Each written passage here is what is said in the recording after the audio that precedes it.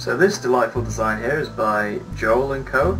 Um, they were pretty insistent that it would be called the name Call Me Big Daddy. Uh, they've got the jumbos and they insisted that a face of Shrek would appear on the top here. I've done my best but hopefully you can appreciate the artistic license I've taken.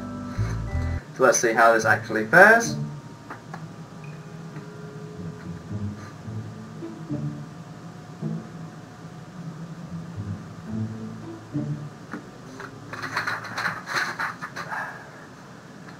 Alright, so we are zoomed out very far for some reason. Okay. Just about lifts off.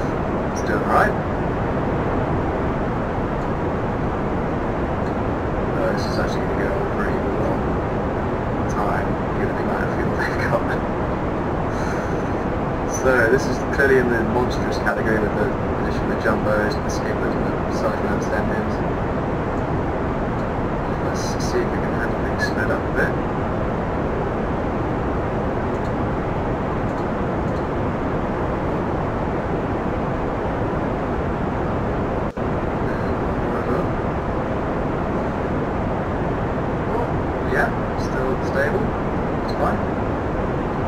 got so much fuel on this, like, like this should go all the way, definitely.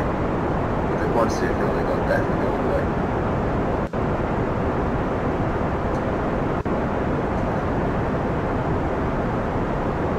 Well, actually, having said that, going a lot faster than I expected, but are really beginning to pick up speed now. See the nice guy coming in. Orbit is um, 70,000 meters, which they are going to achieve easily. In fact, this is going to go a long way. So yeah, in orbit, well in orbit now. Rapidly, oh, oh, ah, ran out of fuel. well, still, that's a good effort from them. See the Earth descending away from them. Their maximum orbit is going to be... Go, sorry. Uh, 2,787,000, which is a very good attempt. So what that looks like from out here.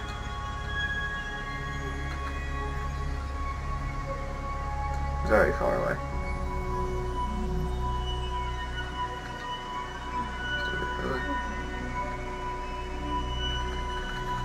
There we go.